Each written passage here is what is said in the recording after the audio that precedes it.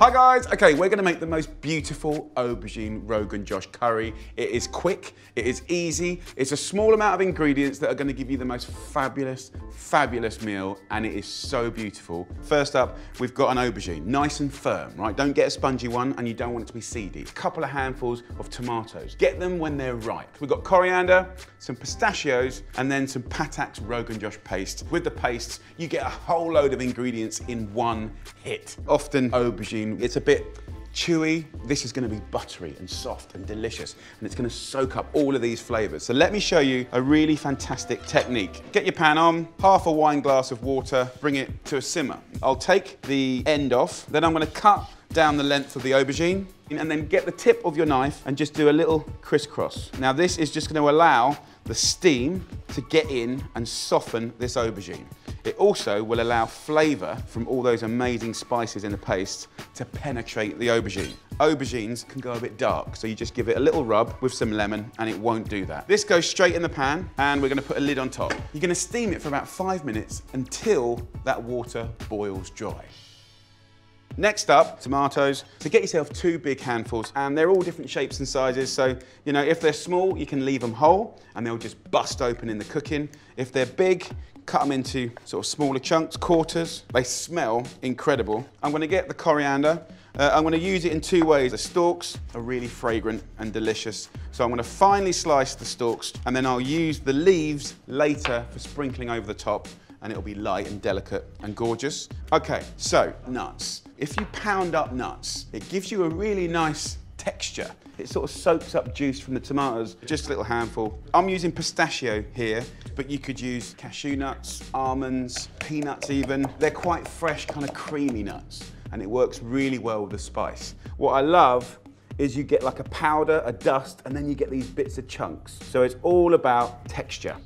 In this pan, you can see the water's drying up. See how soft that is? We've completely transformed the humble aubergine. So we're gonna go in here with a little oil, right? And we're now gonna start to fry. Look at this, right? The skin here, right? We're gonna make that crispy. So if you just get a little spatula like this, you can just push it flat. We're then gonna go in with Rogan Josh spice paste. You only need a nice heaped teaspoon. We'll go in with the coriander stalks. Smells so good. And then we go in with the tomatoes. And look at that. It's all starting to fry up nicely. I want to turn the aubergine over. So this has gone tender, and look at that colour. Just give it a nice little shake up. And the great thing about this dish is you can change the pastes. So you can go Madras, you can go Korma, you know, you can just make it a little bit different every single time. Now we're pretty much done. We're gonna season it with some sea salt, sprinkle it with a pistachio, and that will soak up some of the flavour, just like the aubergine. And I could finish this on the hob now if I wanted to, nothing wrong with that. But if you want to kind of bake it in and make it really unctuous and gorgeous, then what I'm going to do now is put this in the oven. So in the oven at 180 degrees Celsius, which is 350 Fahrenheit, 25 minutes, and that'll be beautiful. Oh, look at that. Come on, that is a beautiful meal right there. Come on, so colorful, really beautiful. It smells incredible. You could serve that in so many ways. You know, I love it. Just in little bits of poppadom, just mop up the juices and stuff. Delicious. Serve it with rice.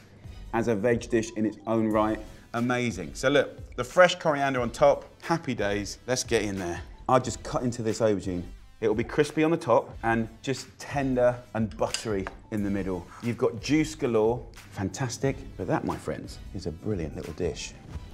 I've just popped some poppadoms here. That little dusting of the pistachio just gives it a really nice kind of creaminess and a texture.